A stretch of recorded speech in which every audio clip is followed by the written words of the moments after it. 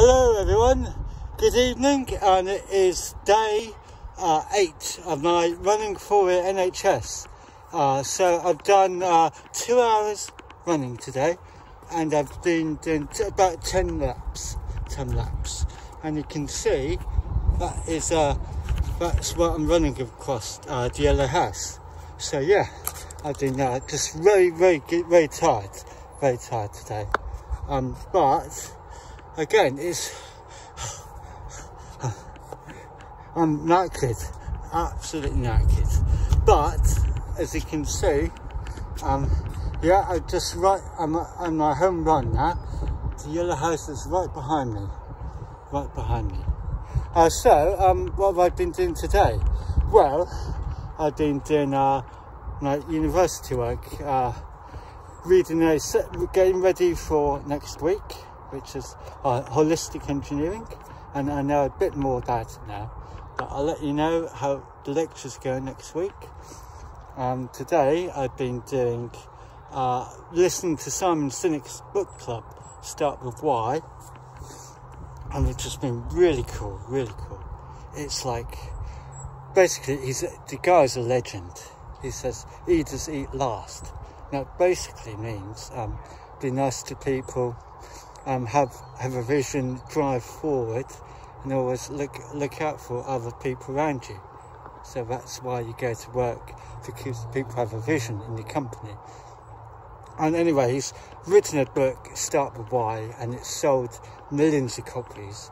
And now he's doing a 10 year anniversary edition, which is even better.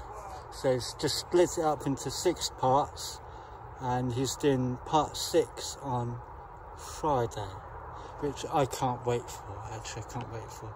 Um, and so, what's the other things I've been doing today? is um, developing my cadet unit.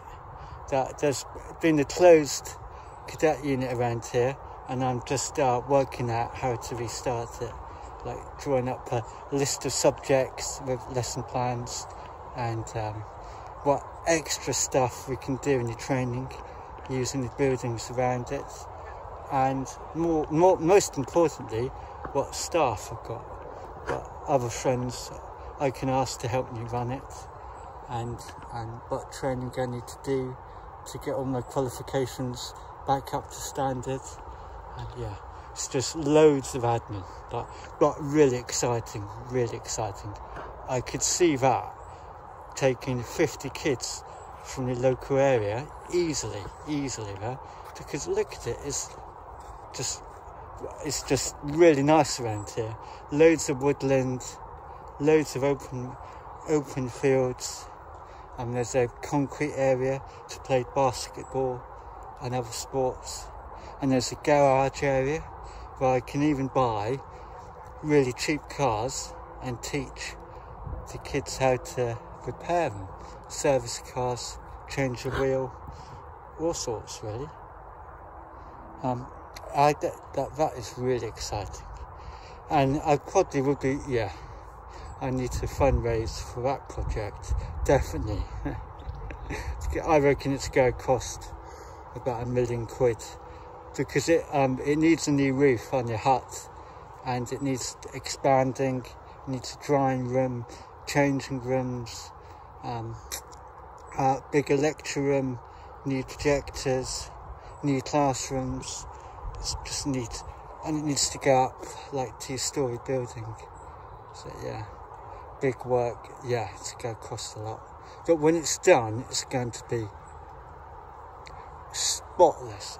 It's going to be brilliant. I mean, if I was a teenager, I would definitely go there because it's a brilliant area. It's ideal for army style training because you're right in the middle.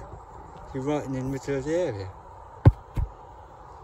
So, I mean, yeah, again, I'll, I'll, let you know how it goes. Um, I'll let you know. But again, I got, look yeah, I'm just at the beginning of the planning stages. So I'm drawing up, uh, To draw up diagrams of what a building layout's going to look like, as well as a, again, architectural diagrams, as well as a staffing plan. and then I got to ask people who helped me run it. When I got to talk to train of command, when I got to talk to another train of command, then another train of command. so it's so, so many people involved to reopen a unit. But worth every bit of effort. Okay. See you tomorrow guys. Bye for now.